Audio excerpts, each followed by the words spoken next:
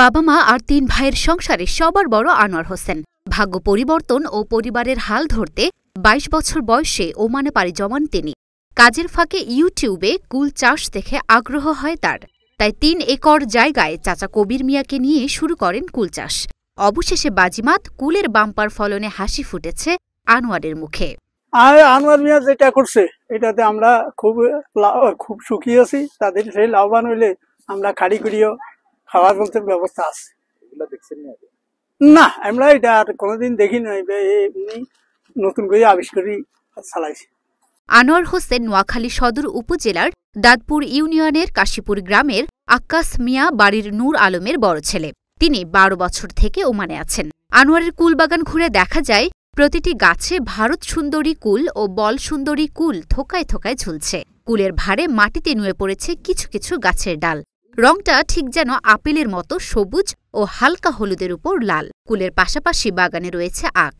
আমাদের নোয়াখালীতে অঞ্চলে প্রায় ঘরে ঘরে প্রবাসী আছে। তো আমি একজন প্রবাসী নোয়াখালী অঞ্চলে আমার উদ্যোগে বা বন্ধু বান্ধবের উদ্যোগে দেখে তারপরে উত্তর অঞ্চলে মানুষের উদ্যোগ দেখে আগ্রহ হওয়ার কারণে আমি এই বাগান তৈরি করছি। প্রবাসী থাকা অবস্থায় আমার এই বাগান, আমার কাকা সহ আমি, আমরা দুজনে এখানে ইনভেস্টমেন্ট আছি। দুজনে কি? এই বাগানটা করছি এবং দুজন আমার কাকা সবসময় এটা পরিচর্যা করে।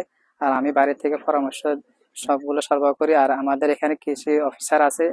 এই নোয়াখালীতে জেলাতে ওনার ইউনিয়ন অঞ্চলে যে অফিসার উনি আমাদের এই বাগানগুলো দেখাশোনা করে। প্রত্যেক সপ্তাহে দুই তিন দিন আসে।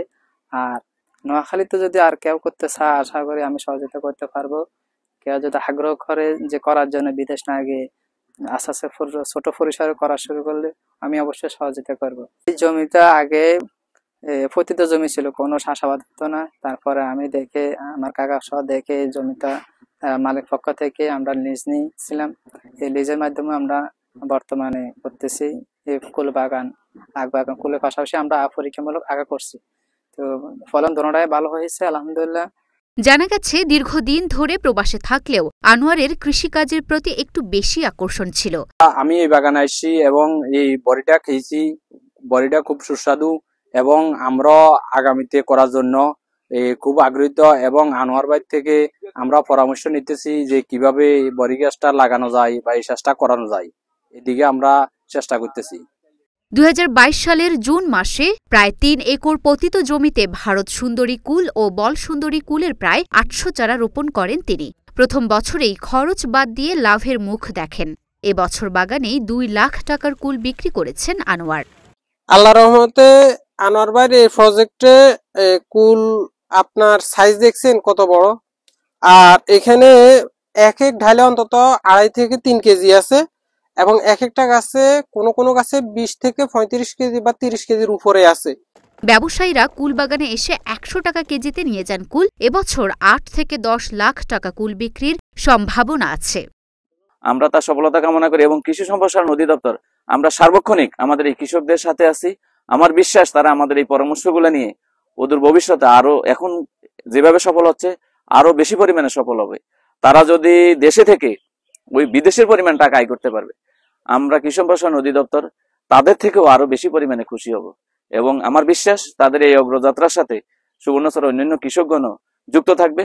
আমরা সর্ব অবস্থায় সবসময় তাদের পাশে আছি। আপনাদের মাধ্যমে আমরা তাদেরকে আশ্বস্ত করতে চাই। তারা যেন এই তাদের কাজগুলো যেন আরও দৃঢ়চেতা নিয়ে চালিয়ে যায়। কৃষি সম্প্রসারণ অধিদপ্তরের সর্বস্তরের কর্মকর্তাগণ এই আমাদের এই উদ্যোগী, উদ্যোক্তা কৃষকদের সাথে আছে। আরও যদি উদ্যোক্তা কৃষক সৃষ্টি করা সম্ভব হয় আমরা সেখানেও কাজ করে যাব। লুনা ফ্রোজনিপা ঢাকা পোস্ট।